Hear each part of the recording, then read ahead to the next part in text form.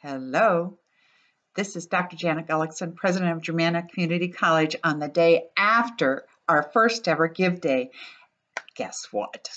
We not only met our goal, we exceeded our goal by over $200,000. Yes, we did. We raised the number $502,000, 168% of our goal. There are many, many, many people to thank for this. Many people working in the background so very hard, particularly Bruce and his team of Jessica, Sandra, and Joy. We have a great foundation staff, and they work well together, and they have done an awesome job. But let's face it, as wonderful as Bruce and Jessica and Sandra and Joy are, our Give Day would not have been successful without you. And so my job today is to read a long list of thank yous to those who really helped us make our goals for the Gladys P. Todd Academy, for Germanna Cares Program, and for the Germanna Guarantee Program. Thank you. So here goes.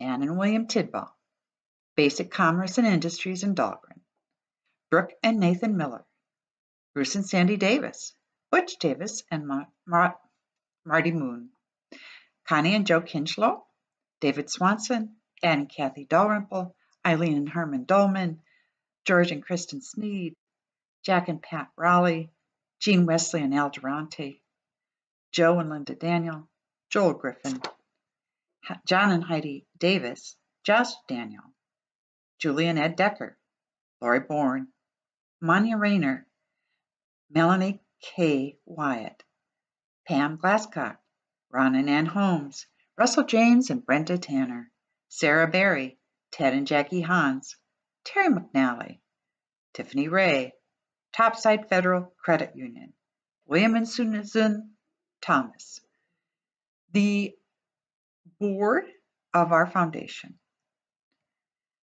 the board of our college, and the Gladys B. Todd Advisory Board. I want to give a special thanks also to our business partners. We couldn't have done it without you.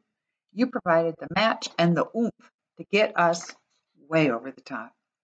Atlantic Builders, Culpeper Wood Preservers, Jefferson Home Builders, Community Bank of the Chesapeake, Coldwell Banker Elite, Rappahannock Electric Cooperative, Stafford Printing, Wells Fargo, Xavier I forgot you, Xavier Richardson.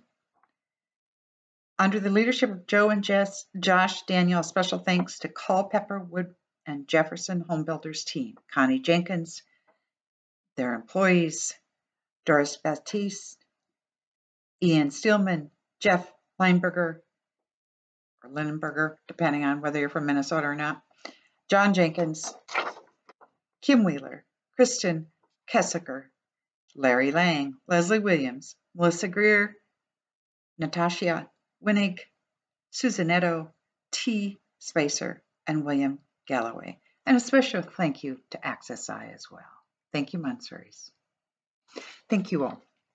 I promise you that we will use this money to help students with the little things like a tank of gas and the big things, like maybe their tuition. $5,000 per year, still the best and cheapest deal in town. Thank you, thank you, thank you.